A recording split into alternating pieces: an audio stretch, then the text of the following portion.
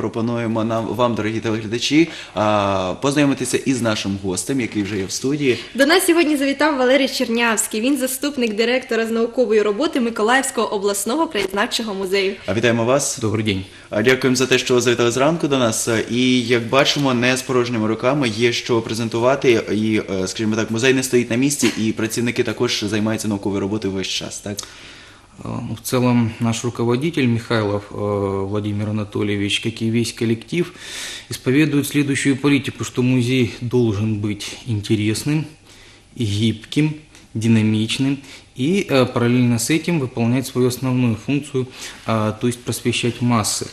А, В этом ключе, да, у нас было действительно насыщенное лето и а, много чего было сделано, несмотря на то, что, как правило, для музейщика лето это мертвый сезон, поскольку все на морях, как правило, в это время.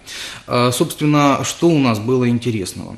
Это, во-первых, э, была проведена масштабная работа с детьми, поскольку лето это как раз тот период, когда детишек надо чем-то занять. Час канікул. так, якраз Да, ш- то есть- в школі їх не займають, тому треба займати чимось іншим. Отвлечь от социальных Мені сетей. цікаво, чим відволікали діта- діточок, якими експозиціями можливо. Мы э, разработали ряд интересных программ. Э, Во-первых, э, наш научно-просветительский отдел и его, и его заведующая Инна Владимировна Гаврилова поставили очень хорошую последовательную работу с летними лагерями детскими. Это э, лагеря «Космос» и «Дельфин».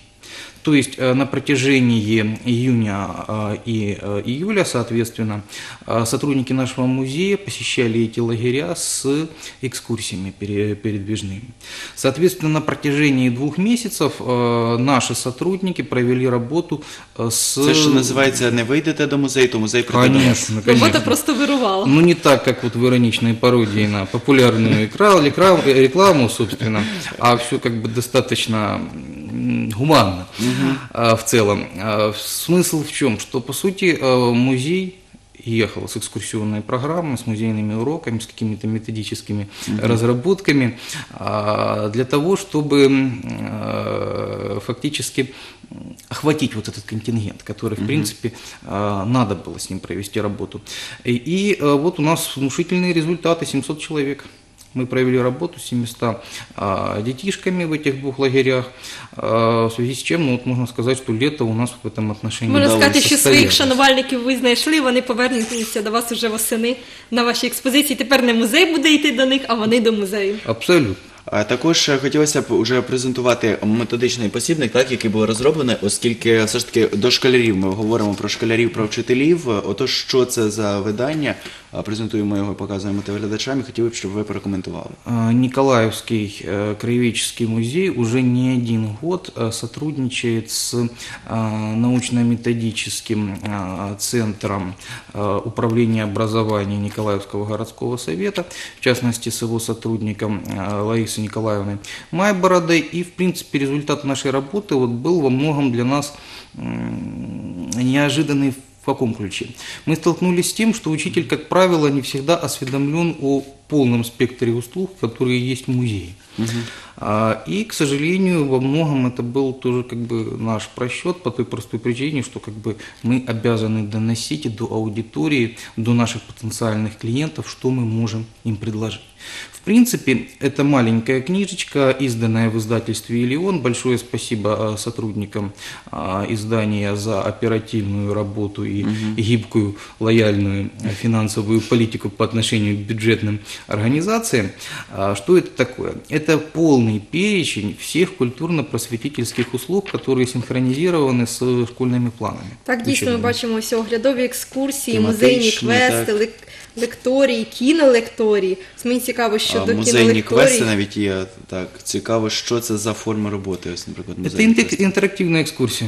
Это экскурсия, которая проводится в игровой форме. Вот в частности у нас э, была проведена м, другая программа пара- параллельно с этим. Это э, лето в музее, Когда, собственно, сотрудники э, отдела передвижных и стационарных выставков, выставок э, во главе с зав. отделом Светланой Васильевной Романенко разработали две экскурсии таких вот. Это э, путешествие в пещеру первобытного человека и, про, э, и прабабусина хата. То есть, что это такое? Это, по сути, э, экскурсия, которая предполагает игровой момент. То есть, она, помимо, скажем так, изложения какого-то материала, она вовлекает, скажем так, экскурсантов, в данном случае детишек, а, собственно, в какой-то процесс э, непосредственного, м, ну, ту- ну, в данном случае они осваивают технологию, к примеру, э, добывания огня, да, вот такой вот момент.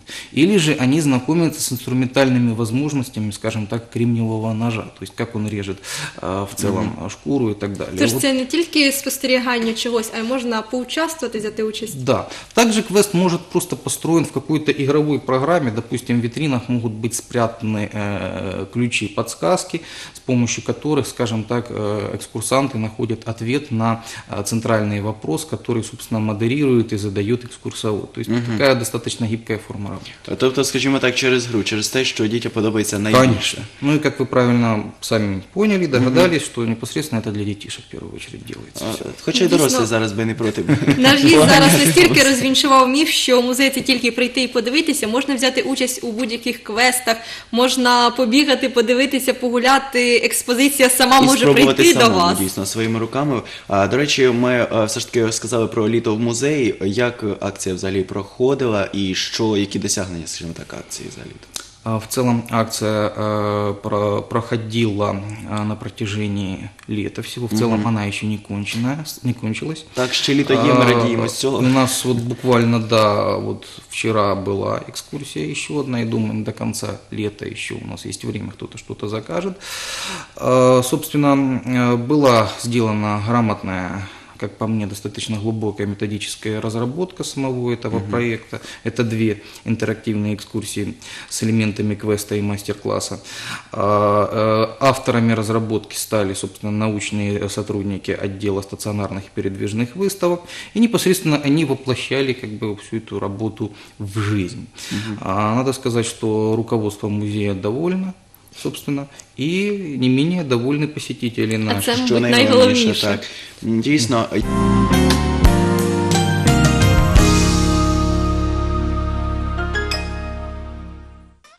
Отож, друзі, ми повертаємося і нагадуємо для тих, хто щойно долучився Що до нас сьогодні програми. вже завітав Валерій Чернявський, він заступник директора з наукової роботи Миколаївського обласного краєзнавчого музею. Отож, продовжуємо розмову. У мене в руках е, е, книга, видання, скажімо так, пілотне.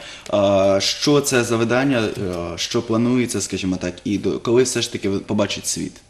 Э, Это уникальная действительно книга, и тут, собственно, не та ситуация, когда всяк кулик свое поле хвалит. Э, Дело в том, что вот вы держите в руках книгу, а, которая освещает историю города Николаева с позиции развития и становления его музейных коллекций. А, То есть данный подход уникален, и, честно говоря, я, как человек, достаточно имеющий а, определенное представление о музеологии, в целом истории музейного дела, знаю вот буквально две аналогичные книжки, которые, в общем-то, можно как-то сопоставлять а, с этим изданием.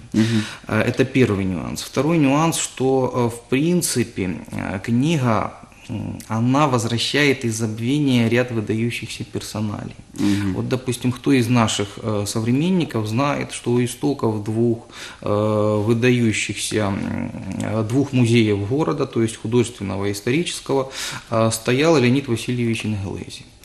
Э, Этот человек э, эмигрировал в 20-е годы, но вот непосредственно свою славу он получил в Англии.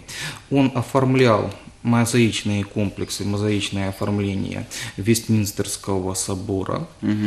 А, И, соответственно, такие объекты, как Национальная галерея в Англии, собственно, а, и, соответственно, а, Национальный банк Великобритании. То есть э, действительно фигура огромного масштаба, мирового значения, а мы о ней начинаем забывать.